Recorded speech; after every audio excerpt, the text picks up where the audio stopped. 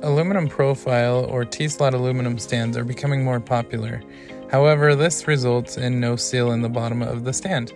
Having a seal is important because any leaks from plumbing or the sump will go directly down to your flooring underneath the stand. Keep watching to follow along on how I did it.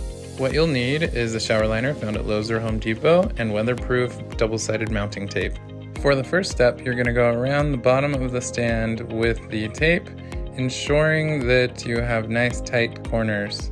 Continue to do that around the whole perimeter of the stand. Mine was tall enough that I needed to do another half of a strip around the whole perimeter.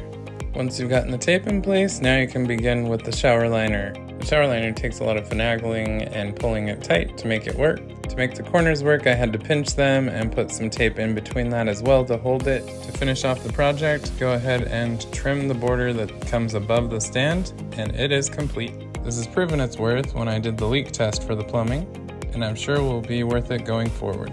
Thank you for watching. Please subscribe to my channel.